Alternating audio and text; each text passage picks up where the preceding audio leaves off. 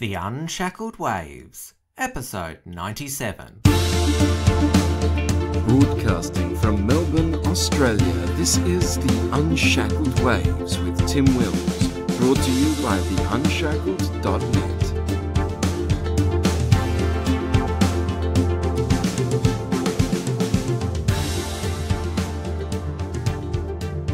Hello, everyone. Great to have your company after this huge news week.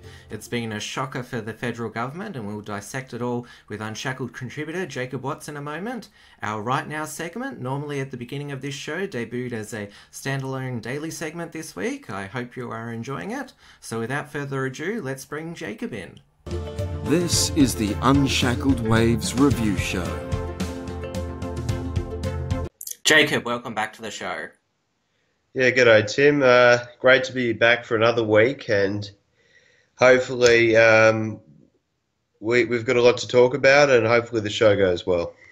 And I'm glad we're recording it uh, on a Friday uh, so that this show is up to date with, well, all of the huge news that's uh, come out this week. Let's start with the the High Court uh, ruled today on they've been dubbed the the Citizenship uh, Seven. So the uh, six senators and one lower house MP who had questions over whether they were dual citizens, uh, which whether they were eligible to sit in Parliament under Section 44 of Australia's Constitution. Everyone's been trying to predict which way the High Court uh, would go, but in a seven to zero decision, they declared that uh, Deputy Prime Minister Barnaby Joyce, uh, Deputy Nationals leader Fiona Nash, uh, One Nation Senator Malcolm Roberts, and Green Senators Scott Ludlam and Larissa Waters were all ineligible to sit in Parliament. However, they held that uh, Matt Canavan, who uh, stood aside as a uh, minister, he he was uh, eligible. He didn't hold dual citizenship, and Nick Xenophon was also not found to hold uh, dual citizenship. So he had five out, five out, and two in. So it's from my reading of the, the High Court's uh, decision is that they still interpreted Section 44 quite uh, strictly, and it means that potentially more dual citizens, uh, if they if they are in the federal parliament, there's a lot of question marks over over various MPs. They could be knocked out as well, and it's clearly that the High Court. Uh, came to the view that uh, ignorance of the law was not an excuse, and even though they'd never dealt with uh, citizenship by descent, which was the case with Barnaby Joyce and Fiona Nash, they they the High Court still expected those two uh, politicians to do their due diligence and you know find out whether they had inherited uh, citizenship. Yeah, it's interesting. I'm I found this uh, this uh, ruling of the High Court to be quite predictable. I was expecting uh, Joyce, um, Nash, Roberts, Ludlam to all go uh, because ignorance, as you mentioned before, is not an excuse.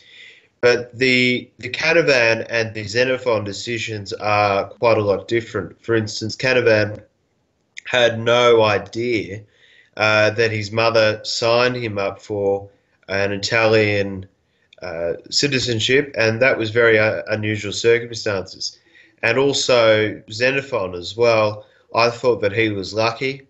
Um, he renounced his uh, Cypriot citizenship, I believe, but uh, didn't didn't uh, renounce uh, his his British one that came from Cyprus being a, a British territory at the time. So I found that uh, Xenophon got off lucky, but it doesn't really matter for Xenophon because he is uh, contesting the South Australian state election.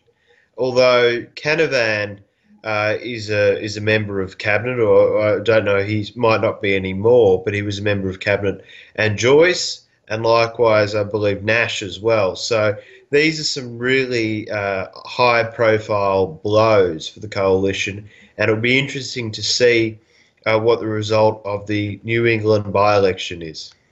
Uh, well, Matt Canavan, he's already been re-sworn in as uh, cabinet minister. Ironically, he was the, the only cabinet minister who stood aside because remember, uh, uh, Barnaby Joyce and Fiona Nash, they chose not to stand aside, and uh, Labor, of course, you know, prosecuted in Parliament. You know, how can you know Bar- Barnaby Joyce, uh, you know, be making these you know decisions about you know uh, key you know, key areas around agriculture and water when there's a cloud over his uh, uh, eligibility? And the the Turnbull government was really quite you know arrogant in in not asking that uh, Joyce and Nash uh, stand aside because, from uh, what I've been hearing from the news commentary and constitutional experts, that Section 40. Section 64 of Australia's Constitution uh, states that a, a minister can uh, can only only not be a member of uh, parliament for three months before their uh, decisions are found to be invalid. So they've actually been on the math, uh, Barnaby Joyce and Fiona Nash, they've been cabinet ministers for a whole year when they weren't eligible to be in the parliament. So that could even uh, open to challenge the the, uh, the decisions that they made as ministers for the past year and really uh, put our nation in further political limbo. Well, I think that this is a lesson learned for everyone, regardless of whether you are One Nation or the Greens or the National Party. You have to follow the Constitution. The Constitution is not some um, uh, ancient document that has no relevance to us. It is the very document unto which our country was founded. Uh, and one needs to have respect for the Constitution. Uh, so I really don't have a problem with these decisions that have been made, strict interpretations, yes, but it shows to all that the Constitution is a supreme document within the nation and it needs to be respected. And quite frankly, I found it great that the High Court had this courage to make a just and fair decision as they did. Of course, the political fallout from the High Court decision is there'll now be a by election in the regional New South Wales seat of uh, New England, which uh, Barnaby Joyce uh, held. So at the moment, the uh, the government has uh, lost its uh, one seat majority, and so I do believe that there's two sitting weeks uh, left before this uh, by-election result is finalised. So uh, Labor will try to cause as much chaos as possible. They probably won't get a no confidence uh, motion passed because independent Cathy McGowan has said she'll support the government on uh, supply and confidence, but it could. What has been suggested is that Labor and the crossbench and potentially George Christensen could uh, try and get a royal commission into the banks passed. So there's a lot of political instability that, that will follow in the coming months before this uh, by-election is sorted. Now, uh, Tony Windsor, the former member for New England, has said that he's not running, so Barnaby Joyce will most likely uh, win uh, or retain, uh, should I say, uh, New England, but it's, it's certainly going to lead to a few unstable months. Uh, and, and then there's also the possibility of Bob Katter even potentially holding the uh, House of Reps to ransom, you know, asking for um, things for his Northern Queensland constituency. Now, I understand, I, this has slipped my mind, apologies, but there was a Tasmanian senator who held the balance of power in the Senate uh, for quite a while. Brian Harradine, yes. Yes. So I'm thinking that uh, could potentially be in a Harradine esque situation uh, whereby he, you know, asked for ride-on lawnmowers for everyone in the uh, North Queensland uh, electorate there. So it'd be interesting to see where Bob Katter lies uh, in this in this whole debacle. But uh, I, I, view Katter as as, as, as an honourable man. Uh, he sided with Abbott before. there's precedent there. He's an old school national. Uh, he doesn't really want uh, turmoil and chaos. He just wants what's best for his electorate. But certainly, I think that uh, George Christensen would be uh, well within his rights to put, uh, push for a royal commission into the banking sector. Uh, I don't believe that you know more government intervention is the key, but certainly you know elements of monopolisation. Well, it's, you know the what would you call it a quad quadruply. Uh, there's a big four, and, and then there's really hard, you know, with the overbearing regulations. Uh, they kind of set their own rules. Um, the banking sector uh, needs to be looked into a little bit. Uh, I think Christensen's right there. Uh, I don't. I don't think overbearing, you know, government uh, intervention or a royal commission's good, but I th- certainly think shining the light uh, toward the banking sector uh, can never hurt. Um, but certainly the ramifications of this uh, are extraordinary, and it, and it just shows that. Uh, well, just further emphasises the the the amount of pressure that that uh, Prime Minister Malcolm Turnbull's under uh, if he can't even keep a majority within the House of Representatives. Now, he lost 13 seats at the last election. Now he doesn't even have a majority. He doesn't have his deputy prime minister. Uh, and it's simple that this man is not fit to govern. Uh, and this is all seen through through the chaos and how he can't keep his house in order. Well, he's supposed to be flying to Israel tomorrow, and so we do. In his press conference today, he didn't even tell us who the acting prime minister would be, who uh, most people assume will be uh, Julie Bishop, which uh, Malcolm Turnbull uh, still hasn't confirmed whether he's going on this trip. There, there is this suspicion that he's a bit paranoid to leave Julie Bishop in, in charge of the country because of you know what, what she might do while he's away. Yeah, well, he yeah he's uh, he's not fit to lead. He doesn't have, um, as Andrew Bolt said on the Bolt report last night, he doesn't have any political vision or any political capability. Um, he he's unfit to, to lead. He's obviously very worried about the stability of his government. And he obviously this leadership issue uh, is further emphasised through him not being able to uh, have the foresight to see who the uh, acting prime minister will be uh, through his trip to Israel. It just shows how chaotic everything's become. Now, I don't really like to stir the pot too much, but it's quite evident that there is a large degree of chaos in Canberra. The week started with news that the Australian Electoral Commission will now list GetUp as an associated uh, entity. This is under pressure from uh, conservatives such as uh, Eric Abetz, which will mean that uh, its uh, funding will now be required to be disclosed. Now, uh, GetUp has long been a enemy of the conservative movement. It has campaigned against successfully against conservative politicians such as um, Sophie Mirabella and Andrew Nikolic, and they also want to go after Peter Dutton in the in the next uh, fe- federal election. Uh, now, uh, obviously, I don't agree with you know what GetUp campaigns on the issues that they do, such as you know immigration and climate change. But I think it's a bad move to use the force of government to go after an organisation like GetUp just because you disagree with what they do. Certainly, uh, I think that these things should be done, but they should be done right, and they should be done in a way that that's that's right and proper. And uh, certainly, I think that if Michaelia Cash, you know, has pulled strings to make this happen, then it does look bad for the government. Although I did hear uh, Senator James Paterson uh, today at a Senate inquiry saying that a magistrate, in fact, granted the right to uh, raid the AWU. So, therefore, they're trying to say that there's there's a separation of powers. It's a member of the judiciary that made the decision.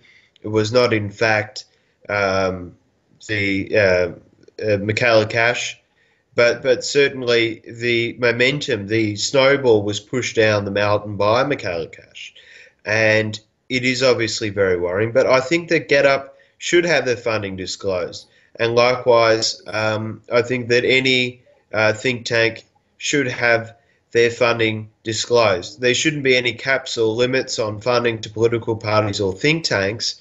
I don't think that's a liberal. But I think that all funding should be open and transparent to the public.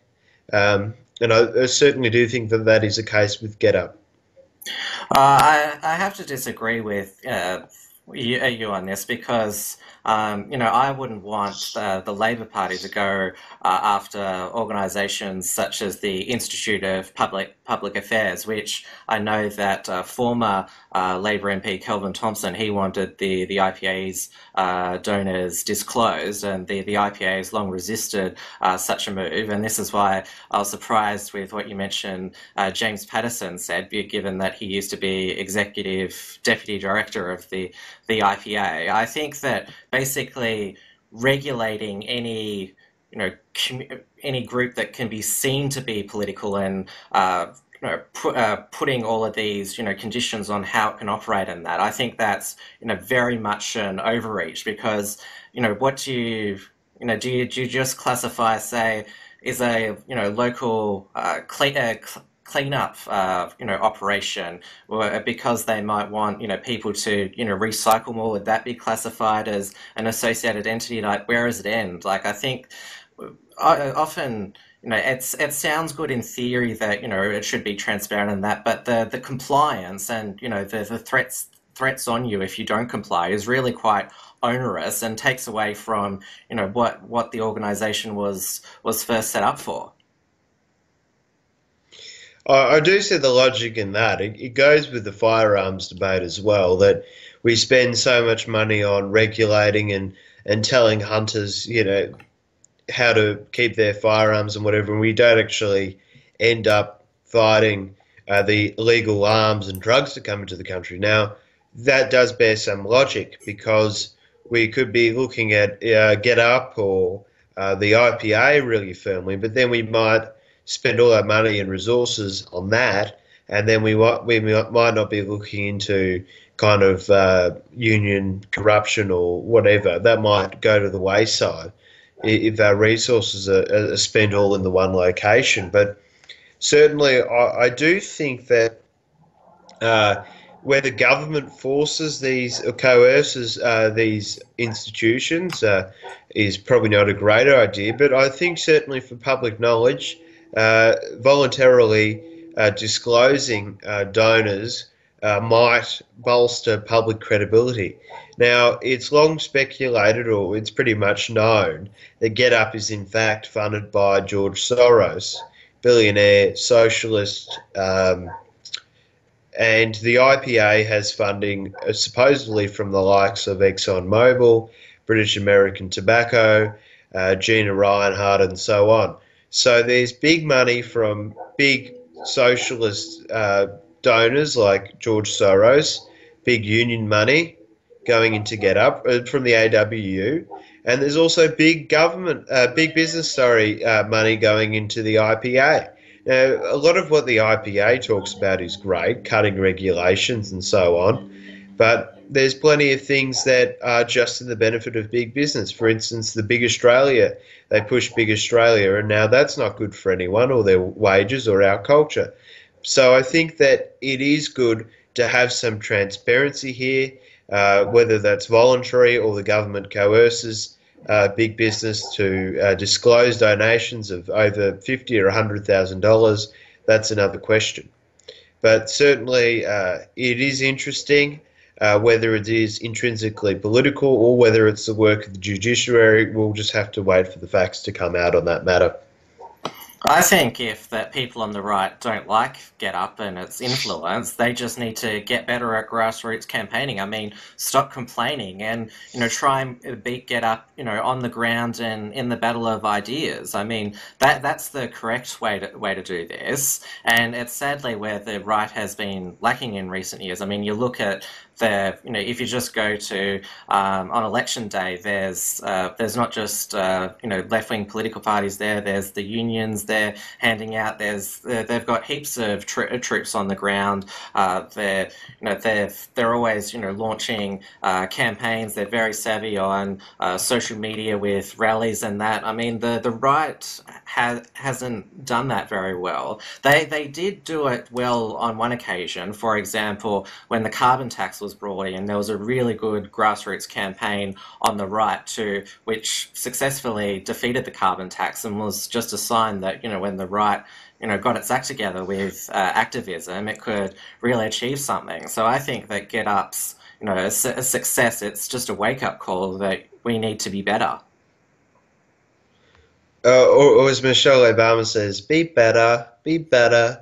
And, you know, I completely agree with you, Tim. We definitely need to get our act together.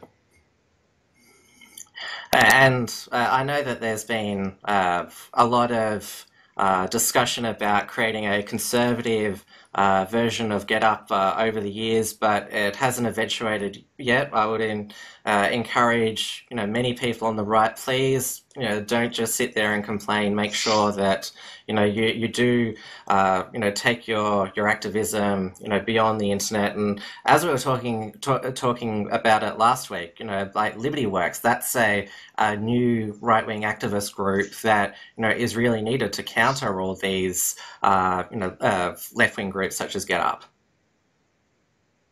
Well, the problem is, Tim, here essentially in a nutshell, is that people on the right have jobs and they're not on Centrelink and they don't have heaps of time on their hands.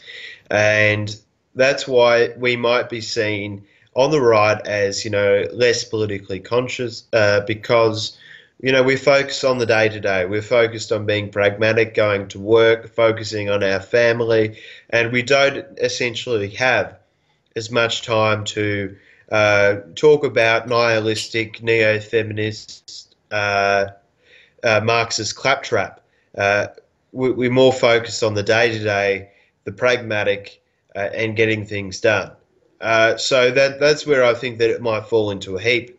But certainly, I do think that there is a, a grassroots of, of university young people who have a little bit more time on their hands. I've seen this at Friedman. There were plenty of younger people there plenty of people who have the, the passion to uh, for the activist cause of smaller government. Uh, and as Ronald Reagan once famously said, as, as the size of a government uh, expands, liberty contracts. And I think that we all need to remember that through our uh, push for liberty, push for freedom, and uh, fight against the big state.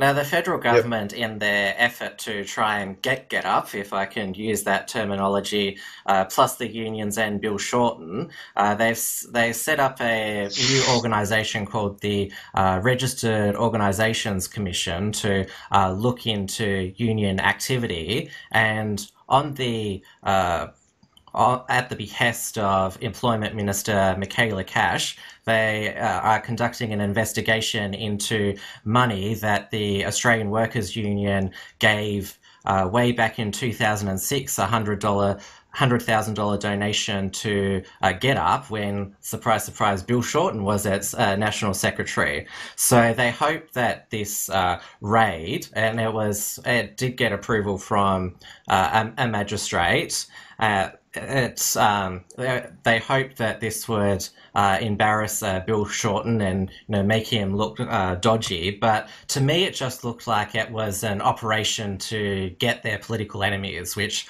I don't think is a good look in a democracy. Certainly not. It didn't look good, not at all. Uh, but it's interesting the, the hypocrisy of Bill Shorten donating that money, whether by personally or whether it was a, a whole board of the AWU as a collective making that decision. What does GetUp campaign for? They campaigned against coal, uh, you know, forestry, for instance, I believe now.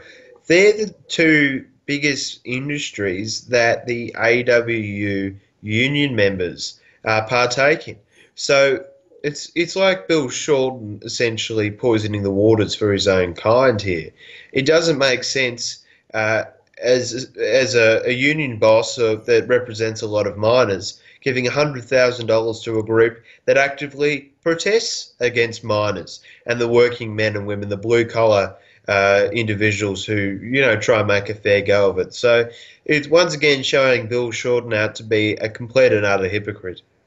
But that's not really the point here. I mean, yes, we can say that you know the Australian Workers Union is not making a wise choice on behalf of its members to give money to GetUp, but the, this is not the question here. Whether you know it is right of the uh, federal government to you know basically use the power at its disposal to i mean they're they're they're not questioning the like the, that it was you know right of this donation to take place but whether it was properly authorized. And so they're digging up minutes from you know meetings 10 years ago. I mean it, it looks uh, really you know desperate. And you know i'm you know obviously i agree with what you're saying but i'm you know being objective here. And it's it's not it's not a good look. And uh, I, I have to think that you know, although obviously I disagree with, you know, Labor and the union movement quite a bit, they they were quite right to, you know, get outraged about it. And in the end, it really backfired on the government because when the raids happened, the, the media were were there to, to capture it, and so it was widely speculated at the time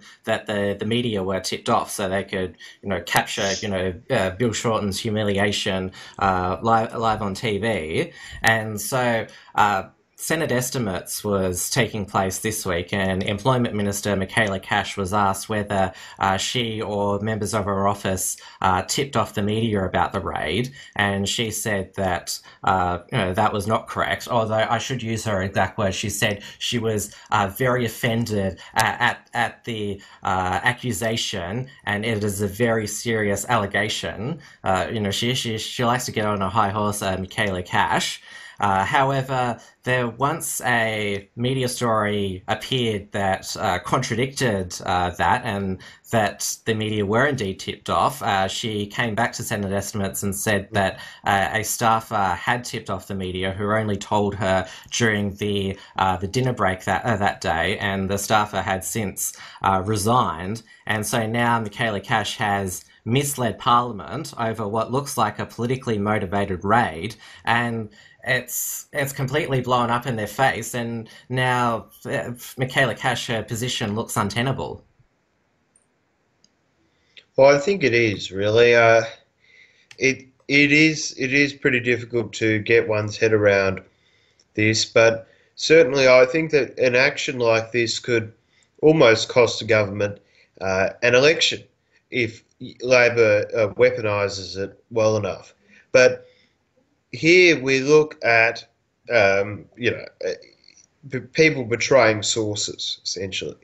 Uh, it shouldn't be leaked by media that it was a cash uh, you know source. Now that asks, that makes me ask this question: Is this just a consequence of our moral uh, relativistic culture that you know morals like protecting one's sources don't matter anymore? They've just gone to the wayside uh, the, the, erosion of Judeo-Christian values, the sources have gone to the wayside. Now, the, the only time, probably in the last 10 years, that, that I have seen uh, sources being betrayed, uh, they haven't been on the left-wing side of, you know, the sources and the information that's being, you know, there's no bombshell uh, stuff happening on the left. It's last time it happened was with Peter Costello uh, meeting with a bunch of age reporters um, you know, prior to the 2007 election, and there was a big drop. Uh, it doesn't happen with the left because the left media establishment protects their own. So I think that, in a sense, the uh, mainstream media are to blame a little bit here for blowing this up out of proportion uh, to sell papers and whatnot. But also, uh, the Michaelia Cash has some ministerial responsibility. Uh, she should be grilled uh, over this, uh, and I think that it is very troublesome. Uh, and our ministers are obviously responsible to the parliament and therefore to the people, and maybe even the governor general might have to step in here and strip her ministerial post. Uh, if it's found that you know she isn't uh, capable of fulfilling this to uh, an ethical and uh, moral level anymore.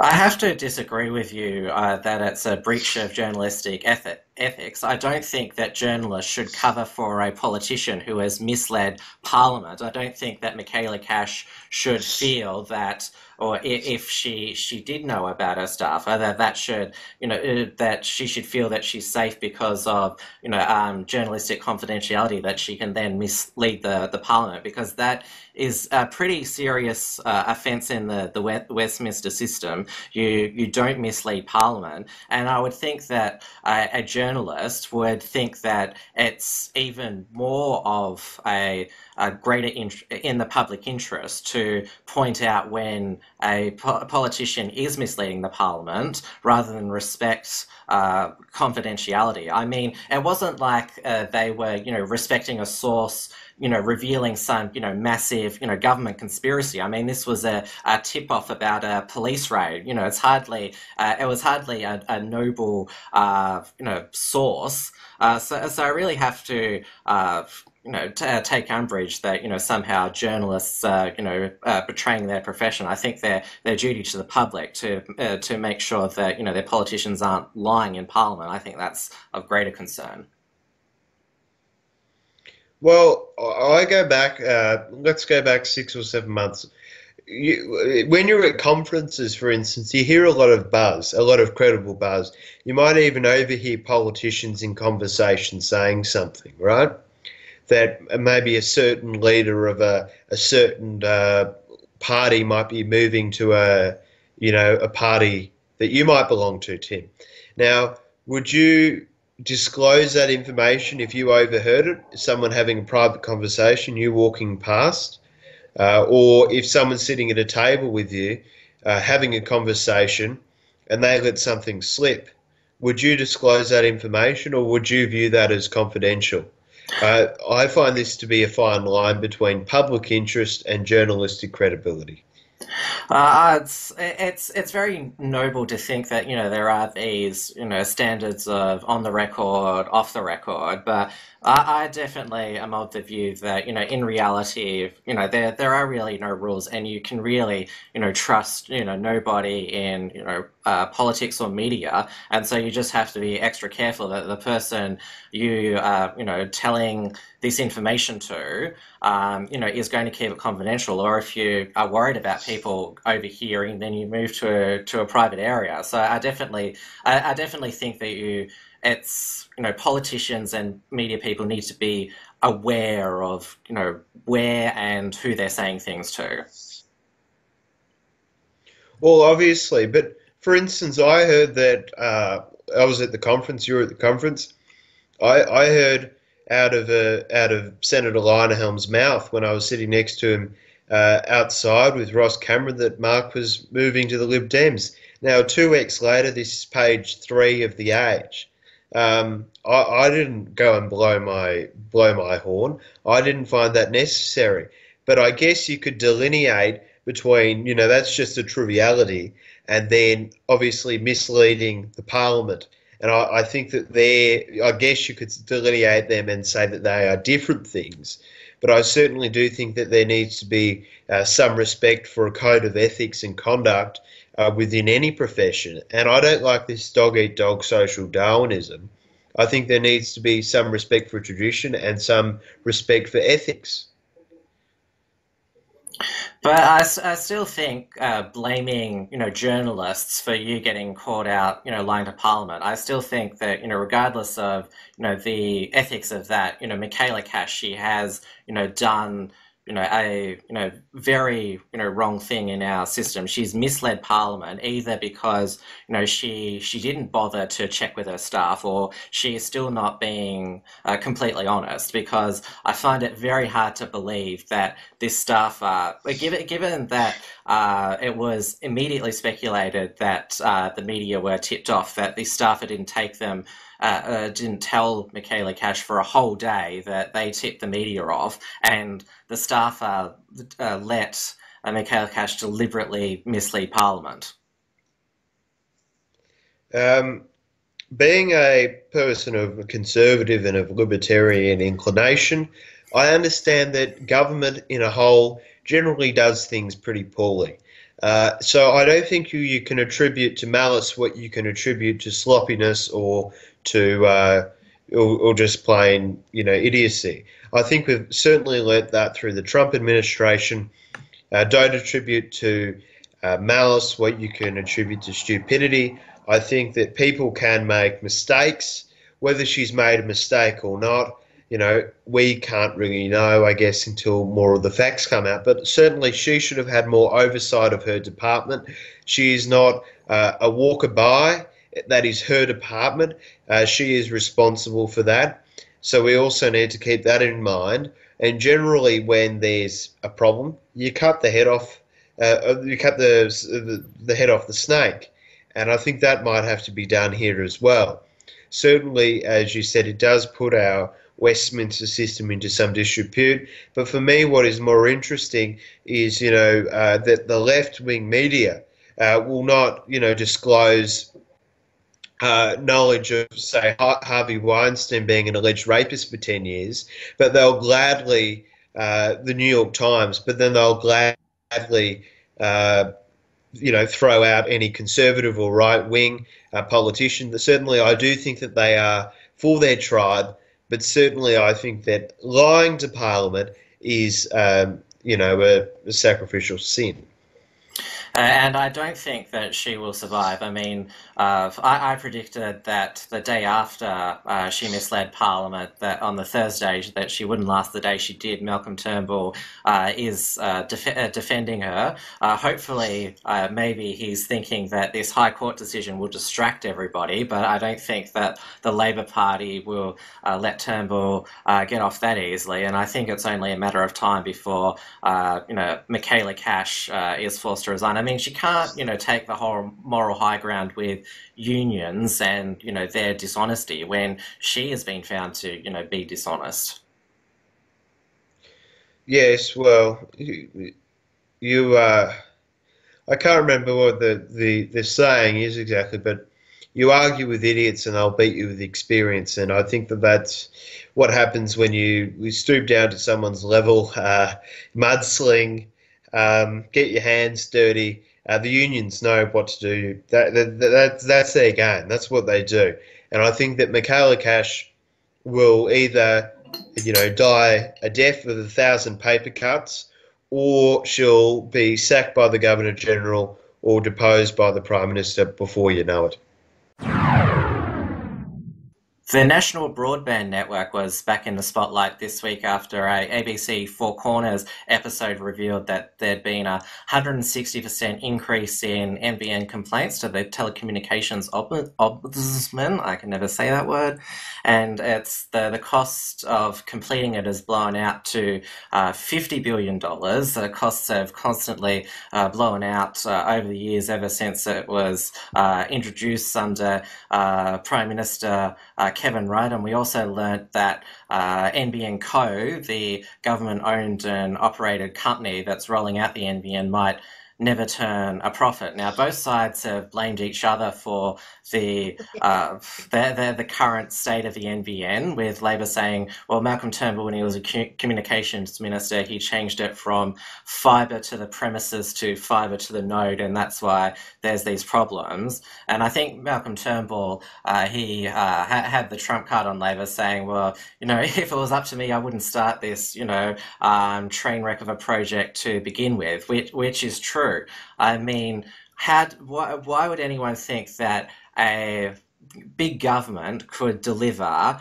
a you know broadband network to you know the entire nation, considering you know how large Australia is as a continent. I mean, you know, it's just a recipe for uh, you know public works disaster.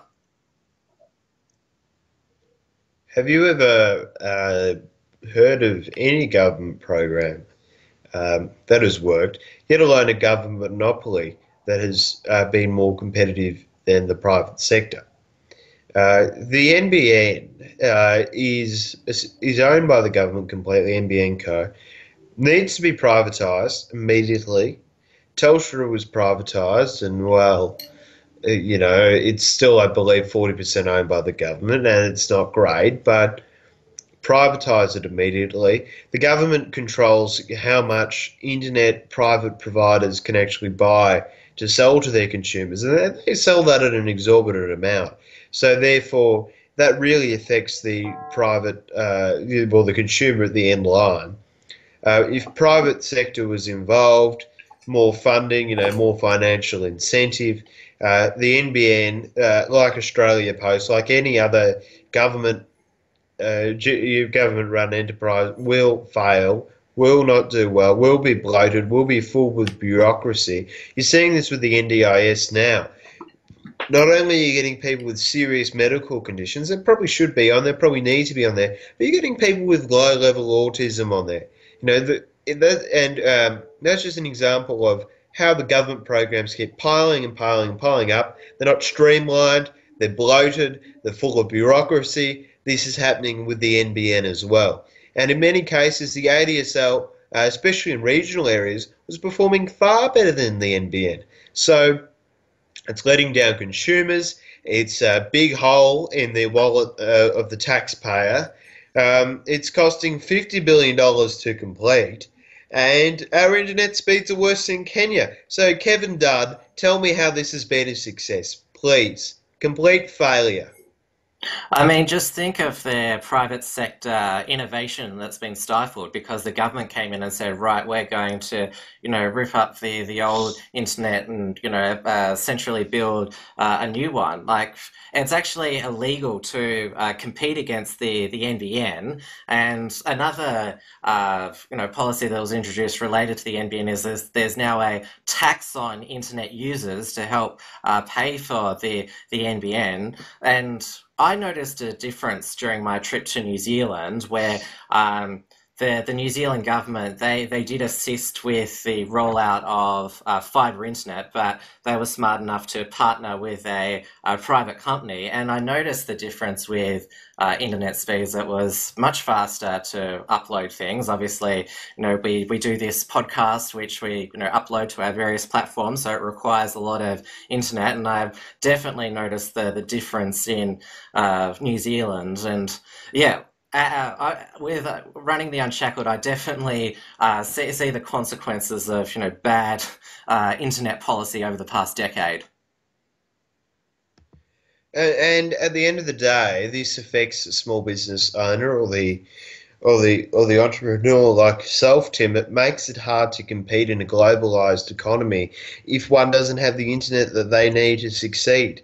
Um, now, one thing I would find interesting is uh, that, that Kenya's internet speed is a higher than the uh, than Australia's, and, and in fact it is. It's um, 13.7 megabytes per second, uh, which is I think it's about uh, and the Australian internet speed is uh, well, let me just get it up here. Sorry, is uh, 10 uh, well, sorry, 13 uh, per 13.8 per second. So we've got, I believe, Kenya uh, having you know a relatively better internet speed than Australia, which is shocking. Um, and it would be interesting to see if Kenya, uh, that enlightened uh, British colonial um, nation in the in the west of Africa, whether they have privatised their internet. Just, maybe that's uh, why they've got better internet than we do in Australia. Maybe a bit of uh, your free market uh, privatisation uh, has done it for the Kenyans. But certainly, we are worse than a third world country. Uh, the GDP of, of Kenya is it's about six or seven thousand per year, uh, and it's just it's just um, terrible that our nation uh, has, uh, you know, smaller, uh, well, so slower internet than, than Kenya. Uh, sorry, Kenya's GDP, apologies, is $1,500 a year. Uh, Australia's is uh, about, you know, 60 so Kenya is one of the poorest nations on earth. You know, no infrastructure, just complete. You know, it's completely desolate besides the capital, Nairobi we have got worse internet than Kenya. A lot of Kenyans live in mud huts, um, get around on you know, mules or what have you. We have worse internet than Kenya.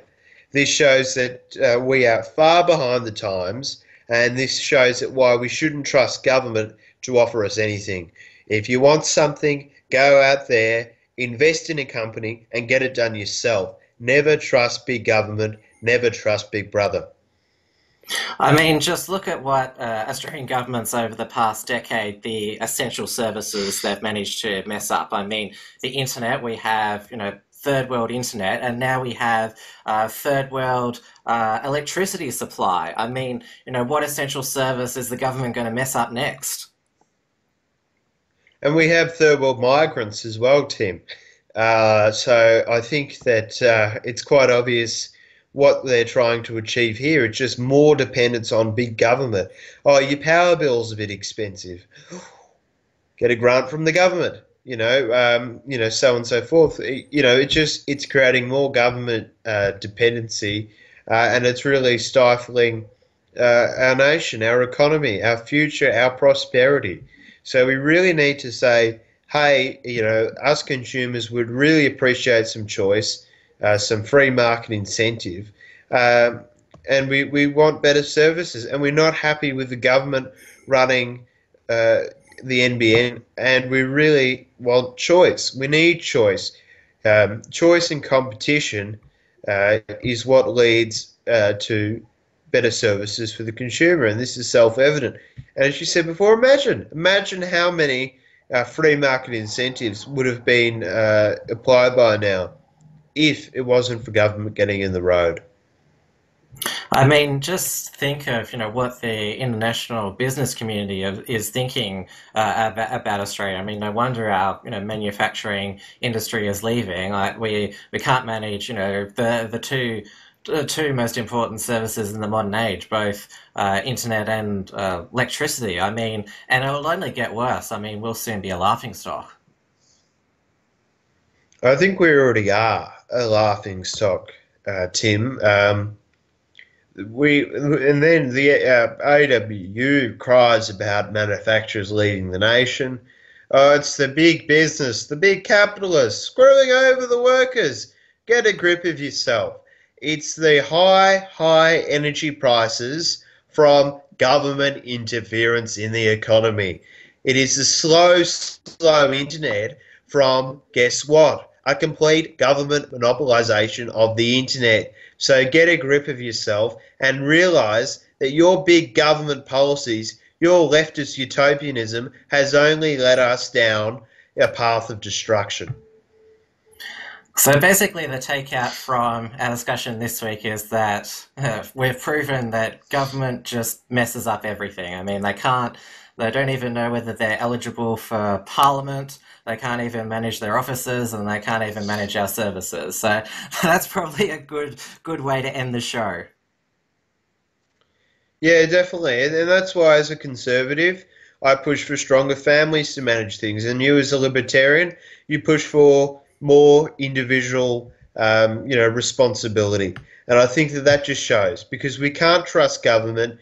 You know, we can't trust uh, the government and all politicians to tell us the truth, and that's why uh, we, the Unshackled, produce this podcast every week. That's why we write articles, and that's why we would appreciate for you uh, to become a Patreon, uh, to uh, contribute financially, so we can keep growing, so we can advertise, so we can spread the message of truth and liberty to the next generation, so that they don't become as brain dead as the current millennial and baby boomer genera- generations that have uh, implemented this big government leviathan state that uh, tries to kill freedom at every which corner. And we'll certainly be back next week to see, oh, what what else the government can can stuff up. So uh, there'll there'll probably be another crisis uh, next week. Well, you know, uh, we wouldn't be in the job if there weren't crises, but uh, certainly I want stable and secure government but uh, we're not getting much of that under Malcolm Turnbull. I, am honestly under a, an, a, a, suspicion that Malcolm Turnbull has got amnesia and he's on the wrong side of the aisle. But uh, we'll just have to wait to see whether he wakes up from this craziness or whether it keeps going on. Oh, I'll see you next week again, Jacob, and thank you once again. No worries, Tim. Uh, it was I was very happy uh, to be on the show once again, and I, I'm very grateful for all viewers, listeners, and readers.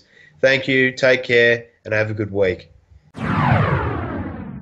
All right, everybody, that's the show for today. A reminder to check out our other podcast, Front and Center, with Emilio Garcia, who also has a daily video news segment called What I'm Seeing Daily. So I'd also like you to check that out. The content just keeps getting pumped out at The Unshackled, so we're aiming to keep up with all the latest news. Thanks once again for your company, and we'll see you next time. Thanks for tuning in to The Unshackled Waves. Please visit theunshackledwaves.net for all the ways to subscribe and follow the show. Don't forget to pick up your free ebook at theunshackledbattlefield.net and keep checking out theunshackled.net for all the latest news and commentary.